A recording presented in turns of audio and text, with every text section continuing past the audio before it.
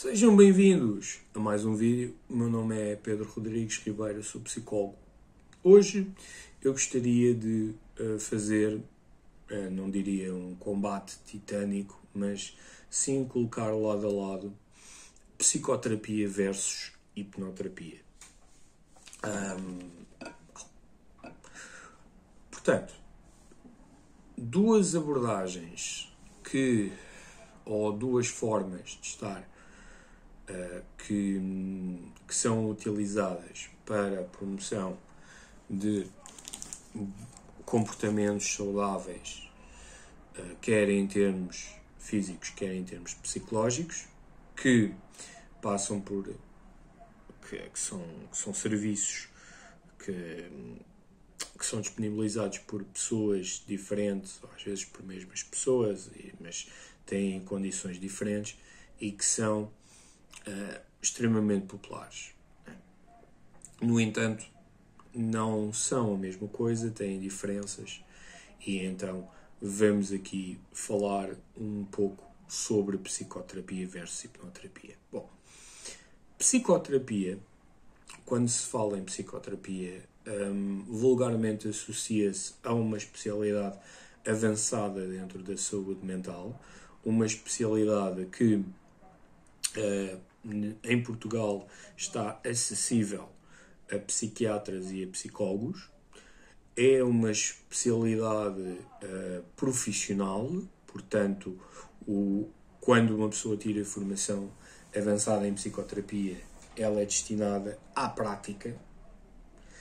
Um, é assente num modelo teórico de base, Portanto, temos psicanálise, terapia cognitivo-comportamental, terapia existencial, uh, terapia centrada no cliente, psicoterapia MDR, etc. Portanto, a base da formação avançada em psicoterapia é um modelo uh, psicológico que tem, um, tem dentro de si um paradigma e que, a partir daí, a pessoa é treinada nesse modelo. Um, cada modelo tem semelhanças, cada modelo também tem diferenças, e se a pessoa for alguém aberta para, para o movimento, para a área, para o interesse em integração em psicoterapia, eventualmente pode acabar por um, juntar um, aspectos teóricos ou aspectos técnicos de outras modalidades, de outras abordagens um, psicoterapêuticas. Portanto, psicoterapia, vulgarmente, é isso. Não é uma profissão, temos que dizer, não é uma profissão que seja. Uh, não existe o título profissional de psicoterapeuta, mas sim é um título que, um, que se adquire através de uma formação, numa especialidade avançada. Quando eu digo profissão, estou a falar mesmo em contextos fiscais, por exemplo, a profissão de psicólogo, a profissão de médico psiquiatra é. Existe um, um código específico na, nas finanças. a profissão de psicoterapeuta não existe. Portanto, não há nenhum código de psicoterapia para para nós hum, sejamos identificados a esse, a esse nível. Hipnoterapia, por outro lado, uh, é um termo que uh, pode ser traduzido vulgarmente por terapia com recurso à hipnose. Uh, e aí é importante afirmar que, ao contrário de modelos psicoterapêuticos que são modelos explicativos do, do funcionamento humano e do desenvolvimento do ser humano, a hipnose e todas as teorias da hipnose não têm essa explicação. Não conseguem dar essa explicação, não é para esse formato que elas foram desenvolvidas. As teorias de hipnose apenas, apenas são utilizadas para explicar hipnose, o que é que é a hipnose, como é que ela funciona e quais é que são as diferenças ou os diversos estilos de hipnose. Portanto, quando se pensa em terapia com recurso à hipnose, pensa-se sim que à partida a pessoa deverá ter uma outra formação em conteúdos terapêuticos para que depois os possa utilizar com hipnose ou até mesmo às vezes sem hipnose. Uh, tal como a profissão de psicoterapeuta ou tal como um, os serviços de psicoterapia, uh, não existe nenhum código uh, fiscal com a designar hipnoterapeuta, isso, não, isso ainda não existe. Existe sim um código ligado ao hipnotismo, mas do tendo em conta os aspectos de entretenimento, portanto aí estamos a falar em espetáculo. Geralmente, se uma pessoa quiser providenciar serviços nessa, nesse campo e, e necessitar de, de uma abertura de atividade, eh, geralmente cai na, no grupo das terapias alternativas. Uh, e geralmente, uh, a maior parte dos hipnoterapeutas não são profissionais de saúde mental. Ou seja, enquanto que a psicoterapia, por lei, só deve, só pode ser dada ou só pode ser treinada, formada só determinados profissionais, neste caso os psiquiatras e os psicólogos, podem ter especialidade avançada em psicoterapia. No caso da hipnoterapia, a vulga hipnoterapia, não existe um, uma, uma regulamentação, não existem leis ou sociedades ou entidades profissionais credíveis para regularem ou acreditarem a utilização de hipnose. O que faz com que uh, muitas das pessoas que uh, se intitulam hipnoterapeutas sejam pessoas que, em termos de formação base, não, um, não são profissionais de saúde, uh, nem sou, ou de saúde ou de saúde mental. Não são médicos, não são psicólogos, não são psiquiatras, não são enfermeiros, portanto, há uma variedade de profissões base uh, dessas pessoas que depois tiram formações em uh, hipnose e, portanto, depois intitulam-se hipnoterapeutas.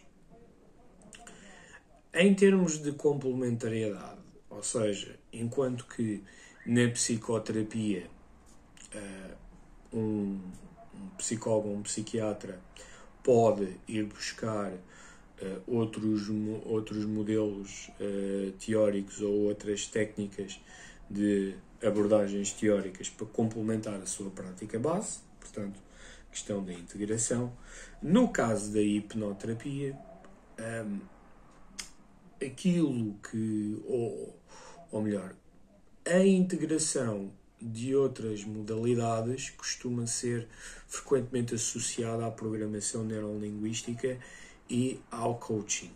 Um, o coaching vem, pode ser, pode, pode ser tirado por formações de coaching das mais diversas, há várias no mercado, ou então a pessoa tira formação em programação neurolinguística e depois diz que faz uh, coaching com, com, com a programação neurolinguística. E, portanto, geralmente uh, pessoas que não são profissionais de saúde complementam a sua prática ou a sua formação em hipnose com abordagens ligadas à programação neurolinguística ou coaching. Que, ao contrário de, de, dos modelos da psicoterapia, não são formas terapêuticas, são no máximo modelos de desenvolvimento, diria eu até desenvolvimento pessoal, não são tidas como terapias ou não são, não devem ser utilizadas única e exclusivamente por, por, elas próprias em contexto clínico, não é essa, não é esse o seu propósito. Uh, e no caso da, da programação neurolinguística, vocês podem encontrar várias citações por parte de Richard Bandler a dizer que programação neurolinguística não é psicoterapia, mas que, no entanto, Bandler utiliza isso como, como para demonstrar que o seu método é mais eficaz do que muitos modelos psicoterapêuticos. Um, e não são modelos adequados à prática clínica, ao contrário dos modelos base de psicoterapia. Uh, também quando nós falamos em psicoterapia, hoje em dia estamos a falar de uma uh, formação acreditada por, pela Federação Europeia de, de Escolas de Psicoterapia, cujos critérios são critérios de base que as associações e sociedades respeitam. Um, e isso ficou ainda mais claro a partir de 2016, 2017, quando a Ordem dos Psicólogos uh, estabeleceu um protocolo com. Uh, tornou-se membro da EFPA e então estabeleceu um protocolo com associações e sociedades de modo a que os critérios, a unificar critérios de, de formação e que essas sociedades e associações ou as pessoas que tirassem formação nesses, nesses locais seriam depois reconhecidos como uh, especialistas em psicoterapia.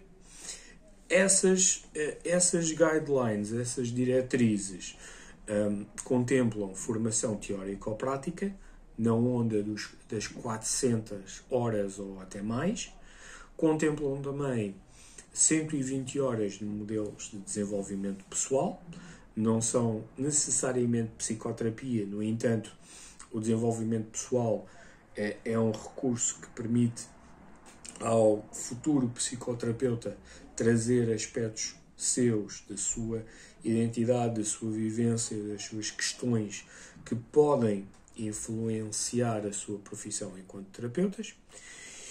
E também 150 horas de supervisão clínica, supervisão realizada num modelo ao qual um, as pessoas estão a ter formação. Claro que a pessoa pode também ter depois outras supervisões em modelos diferentes, mas para efeitos formativos, para efeitos de certificação, tem que ter 150 horas numa supervisão com aquele modelo. São diretrizes claras que todas as, as associações e sociedades devem respeitar e promover, uh, já que assinaram este protocolo com ordem e também tendo em conta os critérios da Federação Europeia de Psicoterapia.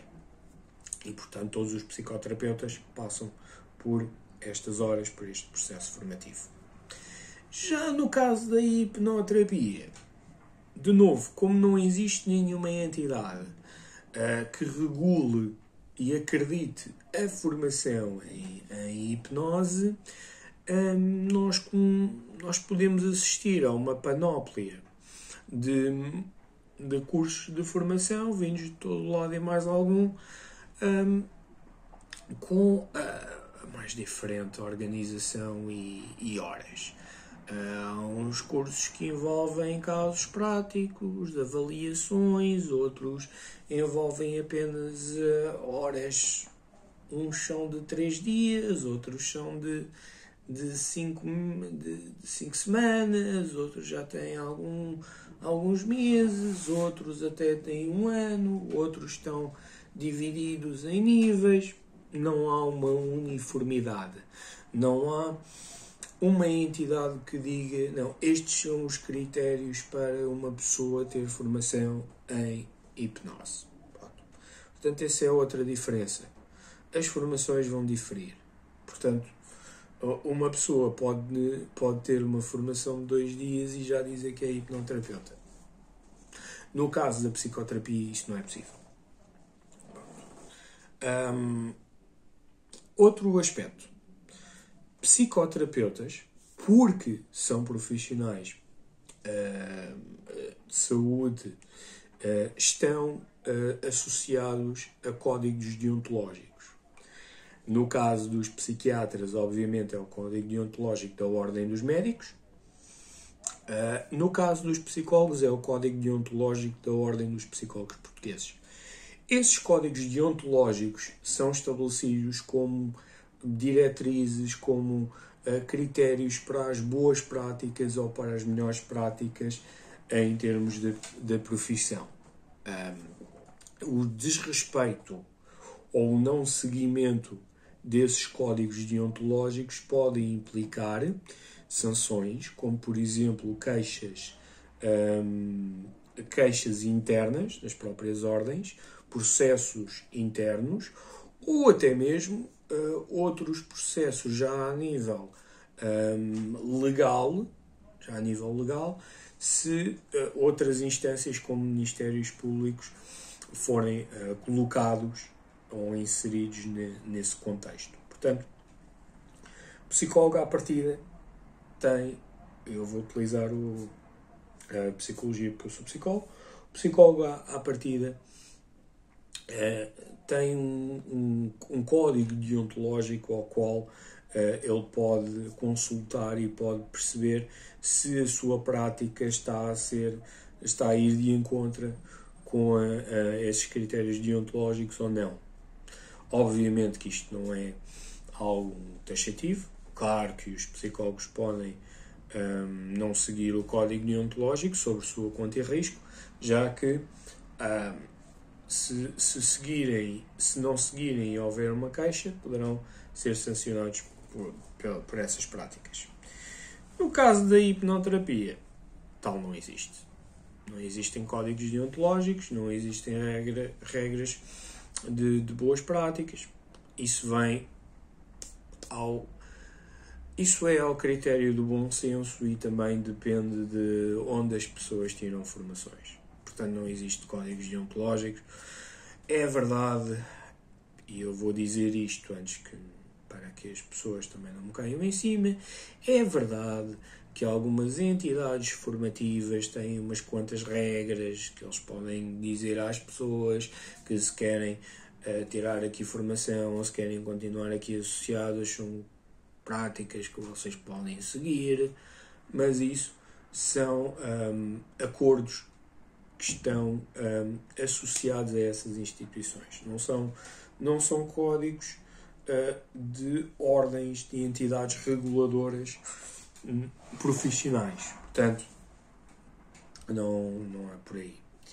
Um, lá está. Como os psicoterapeutas são profissionais de saúde, a, a sua acreditação profissional não só está associada a certificados profissionais, a diplomas profissionais, como também a bases de dados oficiais. Não só das associações ou sociedades que tiraram formação, mas também ao nível das ordens profissionais. Portanto, um psicoterapeuta que é uma especialidade avançada, está, está associada à ordem dos médicos ou à ordem dos psicólogos. É um psicólogo ou, neste caso, um médico psiquiatra. Terá uma cédula profissional, terá uma identificação nas bases de dados oficiais das ordens e, para tal, obviamente, tem que ser membro dessas ordens, preenchendo uma cota, e é isso que lhes dá a possibilidade de serem reconhecidos enquanto profissionais. Bases de dados, existe uma pesquisa clara que as pessoas podem fazer para certificarem se aquela pessoa é mesmo quem diz que é. Já no caso da hipnoterapia, não existem bases oficiais. Não existem bases, não existem hum, entidades reguladoras, não existem cédulas, não existe esse tipo de coisas.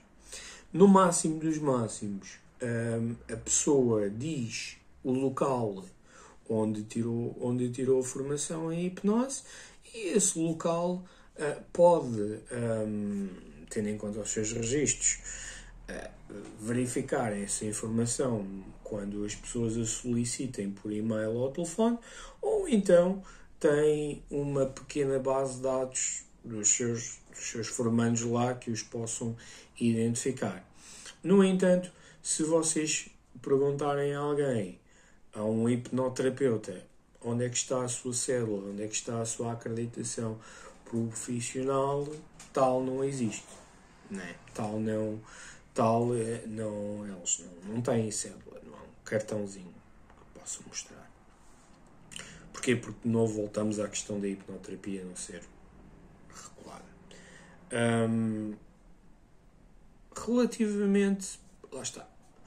Uh, temos também. Ah, outra coisa que é importante uh, referir que um, devido às questões deontológicas as relações ou a atitude do psicoterapeuta é uma atitude de prestação de serviço. É uma relação, sim, é uma relação que é diferente de uma relação social, que é diferente de uma relação um, íntima, de uma relação de amizade, uh, de uma uh, não tem esses, esses recortes, esses critérios, e isso está bem estabelecido no, no código, nos códigos deontológicos. Também tem critérios que são legais, como por exemplo a questão da confidencialidade e da privacidade. Utiliza métodos que são empiricamente validados por investigação, pelos contextos experimentais. Existem estes recortes. No caso da hipnoterapia, voltamos outra vez ao mesmo, não existe este controle. Um, ninguém vai dizer a um hipnoterapeuta que, que não pode estabelecer relações X ou Y ou Z, porque não existem essa, essas práticas, esses códigos deontológicos. Um, os hipnoterapeutas utilizam todo, todo e qualquer mecanismo que eles entendam que é, pode ser adequado para a sua prática ou que as pessoas queiram, independentemente se são abordagens uh, empiricamente validadas ou uh, com recortes científicos. Um, e portanto não, não existe não existe essa atenção, não existe esse cuidado. Claro que ambos continuam a ser um, relações de prestações de serviços, sendo que em qualquer uma das relações é cobrado um X de dinheiro. Um, outra coisa que também acaba por ser importante tem a ver com uh, tem a ver com uh, questões ligadas a deixar-se de ser profissional ou não. Por exemplo, do ponto de vista da psicoterapia, um profissional deixa de ser psicoterapeuta quando ele um, deixa de estar associado a ordens profissionais ou, a quando, ou por decisão própria ou por questões económicas que não consegue um, realizar os pagamentos das cotas. Aí, legalmente, profissionalmente, essa pessoa não poderá exercer a profissão sobre o risco de haver uma queixa um, lançada para si. Já no caso da hipnoterapia, não, não existe essa regulação, portanto, o hipnoterapeuta pode deixar de o ser quando quiser, pode continuar a ser para o resto da vida. Ninguém lhe vai dizer para não para, para da altura ser ou não ser, porque ele não está associado a nenhuma entidade reguladora. E finalmente, os, uh, uh, os requisitos básicos para as profissões. Bom, como eu falei, um, apenas duas classes profissionais em Portugal estão autorizadas um, a terem esta formação avançada em psicoterapia, neste caso são os médicos psiquiatras e os psicólogos, e por trás disso existe toda uma necessidade então de haver uma formação de base. E eu vou utilizar uh, a psicologia porque é a área que eu melhor conheço. Então, para uma pessoa estar numa posição em que possa ingressar numa formação avançada especializada em psicoterapia, bom, em primeiro lugar, essa pessoa tem que ter um uh, mestrado em psicologia. Para tal, essa pessoa, para além de ter, obviamente, a formação do ensino obrigatório, deverá ingressar numa faculdade com um curso de psicologia. Esse curso, bom, enquanto enquanto os mestrados integrados continuarem a existir, é um curso de 5 anos, sendo que os três primeiros são de, uh, são de tronco comum, por assim dizer, e que dão à pessoa uma licenciatura em Ciências Psicológicas, e depois uh, outros dois anos são equivalentes ao mestrado, em que a pessoa escolhe e especializa-se numa área uh, académica, sendo que as mais conhecidas são, obviamente, clínica, educacional, social e das organizações. Mas também há mais, como por exemplo psicologia da saúde, psicologia do desporto, psicologia, psicocriminologia, etc. Pronto. Portanto, uh, o que é relevante é que o estudante, uh, o futuro psicólogo tenha uma formação de base de 5 anos que lhe dê uh, um mestrado em psicologia. Depois, essa pessoa, uh, para ser psicólogo, terá que se inscrever na Ordem dos Psicólogos e ser membro efetivo. E também existe todo um processo em que, uh, para além da inscrição e do reconhecimento de, das, das competências académicas de, do, do futuro psicólogo, este deve fazer um estágio profissional de 1600 horas, um curso de formação para membros estagiários, ou neste caso, hoje em dia chamados psicólogos júniores, e, obviamente, a entrega de um relatório de estágio com base nisso. Quando todos estes, estes passos são efetuados e a pessoa tem a devida aprovação, então ele passa para um estatuto de membro efetivo da Ordem dos Psicólogos, em que começa a pagar cotas e tem uma célula profissional atribuída. E a partir desse momento ele é reconhecido como psicólogo. Hum, aqui, as sociedades e as associações de psicoterapia podem ter alguma latitude no sentido de admitirem psicólogos júniores, ou seja, psicólogos que, que membros júniores ou membros estagiários da Ordem dos Psicólogos que ainda estejam a fazer o seu processo de, de reconhecimento como sendo membros efetivos, ou então só, um, só admitirem membros efetivos da Ordem, portanto, mesmo psicólogos. Agora, para se chegar a uma associação, uma sociedade de psicoterapia com os critérios da EFPA, é necessário todo este percurso. Uh, no caso dos psicólogos. No caso dos psiquiatras, será, obviamente, o curso de medicina, com todos os, com todos os internados, especializações, tudo, tudo aquilo que também está ligado aos médicos, aos quais uh, eles saberão melhor do que eu descrever. No caso da hipnoterapia, bom, não existem requisitos básicos. Ou seja, como não é uma formação, como não é uma profissão regulamentada, como não existe nenhuma ordem, qualquer pessoa pode ser, dependendo da área profissional em que venha. Portanto, há cursos de formação que têm pré-requisitos, como sendo, obviamente, adultos, podem vir de determinadas áreas, mas não existem estes requisitos.